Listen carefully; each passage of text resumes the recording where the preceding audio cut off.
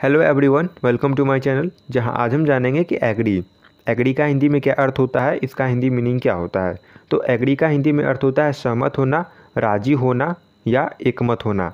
सहमत होना, राज़ी होना या एकमत होना। तो आइए इस वर्ड का कुछ एग्जाम्पल्स हम लोग देख लेते हैं, समझ लेते हैं। When he said that I had to agree when he said that I had to agree यानी कि जब उन्होंने ऐसा कहा तो मुझे राज़ी होना पड़ा। जब उन्होंने ऐसा कहा तो मुझे राज़ी होना पड़ा।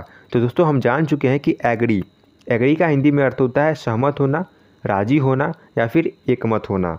तो इसी तरह के डेली नए नए वर्ड सीखने के लिए जाने के लिए अभी लाइक और सब्सक्राइब करें हमारे इस चैनल को, ताकि आप यहाँ डेली नए नए इंटरेस्टिंग वर्ड हमेशा सीख सकें, क्योंकि हमारे चैनल पर प्रतिदिन नए नए इंग्लिश वर्ड से रिलेटेड वीडियोस अपलोड किए जा रहे हैं, जिसे देखें और सीख के आप अपने अंग्रेज़ी को और बेहतर से बेहतर बना सकते हैं। तो दोस्तों, आज की इस वीडियो को देखने के लिए आपका बहुत बहुत धन्यवाद।